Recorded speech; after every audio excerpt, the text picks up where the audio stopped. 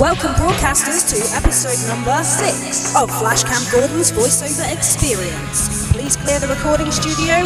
We need complete silence. We're mass communicating. Now, here's the host of our show, Flashcam Liv Clark, ladies.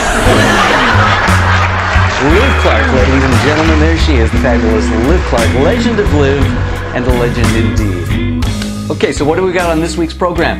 Ah, yes, we were moving metal. That's what you call it. It was three different Honda car commercials. Our first approach to the Honda commercial, it was a, a character. A character within a character. It's a guy who's talking to you about affordability, that Honda is affordable, and then he's kind of mimicking his wife. My wife says, we can't afford it.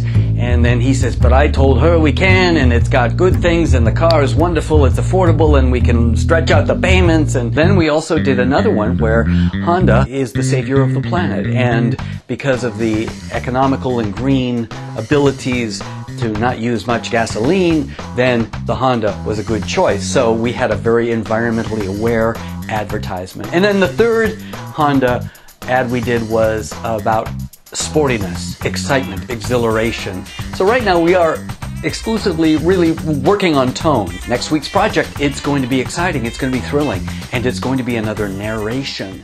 I would like to explore the concept of finding my niche, that's a French word meaning niche, and would like to find out if I could possibly do ebooks or e-learning, you know what I'm saying, audiobooks. But that is a that's a special area and I may not be able to do that effectively.